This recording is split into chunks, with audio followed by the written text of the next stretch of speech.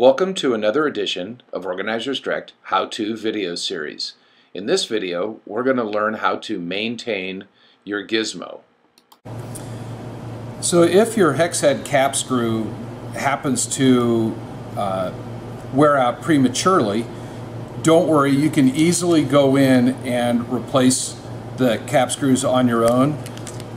You can generally find the cap screws at your local hardware store. We bought these in the specialty department at our local Lowe's. I think Home Depot also has the same product.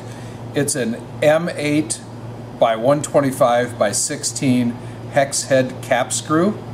So in order to change that, the first thing we're going to do is just take a scrap piece of wood, slide it into the jig, and clamp it in place. That's to prevent the uh, drill bits from dropping down in, which will make it more difficult for you to reinstall the cap screws. So we're going to use channel lock pliers and vice grips to go in and change this. I'm going to take the channel locks and grab the brass base and then using the vice grips I'm going to clamp onto the hex head cap screw and then in a clockwise, counterclockwise fashion lefty loosey. I'm going to loosen that. As soon as it's loose a little bit, I can just go through and hand loosen that hex head cap screw.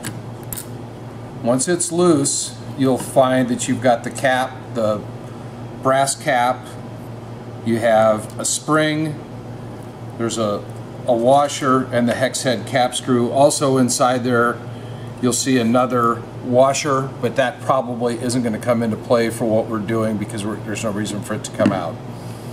So we're not going to replace this as it still has some life left in it, but when we put the back together, we'll put the uh, spring on first, then put the brass cap in place, put the washer on our hex head cap screw, press it down tight against the drill, the uh, drill bit, and then hand tighten it down.